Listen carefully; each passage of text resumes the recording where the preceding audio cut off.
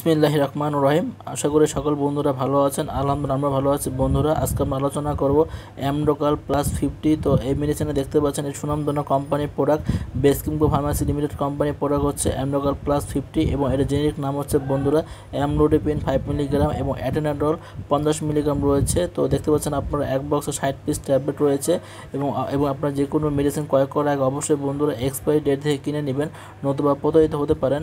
তো দেখতে পাচ্ছেন, আপনারা এক বক্সের অ্যামডোকল প্লাস ফিফটি এক বছর দাম হচ্ছে, বন্ধু দেখতে পাচ্ছেন আপনারা তিনশত ষাট টাকা। তো অবশ্যই এই মেডিসিন আপনারা আপনার নিকট ফার্মেসিতে দোকানে পেয়ে যাবেন, কারণ এটি একটি জনপ্রিয় মেডিসিন এবং ডাক্তাররা প্রেসক্রিপশন করে থাকে বিধায় এটা চাহিদা বেশ অ্যাভেলেবল রয়েছে। তো এখন আমরা জেনে এখন আমরা জেনে নিব যে অ্যামনগর প্লাস ফিফটি তো এই মেডিসিনটা মূলত কী কোন কোন রোগের কাজে বিশেষভাবে এটি ব্যবহৃত হয়ে থাকে।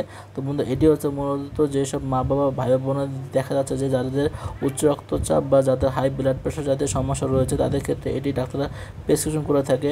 এবং এছাড়াও যাদের যাদের উচ্চ রক্তচাপ এবং হচ্ছে আপনার অ্যানজিনা বা দেখা যাচ্ছে যে বুকে ব্যথা জাতীয় সমস্যা রয়েছে, এই জাতীয় সমস্যাগুলোর ক্ষেত্রে ডাক্তাররা এই আমলাকর প্লাস ফিফটি মেডিসিনটি প্রেসক্রিপশন করে করে থাকে। তবে অবশ্যই আপনার যে কোনো মেডিসিন আপনারা সেবন করার আগে অবশ্যই একজন রেজিস্টার চিকিৎসকের ডাক্তারের পরামর্শ নিয়ে সেবন করবেন। কারণ একজন চিকিৎসক আপনার বর্তমান শারীরিক অবস্থা, বয়স, ওজন এবং রোগের সব কিছু ধরন বিবেচনা করে আপনাকে মেডিসিন সেবন করার জন্য পরামর্শ দিবেন এবং ডোজ নির্ধারণ করে দিবেন। তো বন্ধুরা, আমরা যেহেতু আপনাদের মেডিসিন সম্বন্ধে রিভিউ দিয়ে থাকি, সেহেতু আপনারা অবশ্যই আমাদের ভিডিও দেখে কেউ মেডিসিন সেবন করবেন না। কারণ আমরা শুধুমাত্র মেডিসিন সম্বন্ধে আপনাদেরকে বেসিক ধারণা দেওয়ার চেষ্টা করি। অবশ্যই যে কোনো মেডিসিন আপনারা সেবন করার আগে প্রেসক্রিপশন আপনারা আপনারা দেখে সেবন করবেন। তো অবশ্যই বন্ধুরা, আপনারা যে কোনো প্রকার মেডিসিন সেবনের আগে চিকিৎসকের পরামর্শ নিয়ে সেবন সেবন করবেন।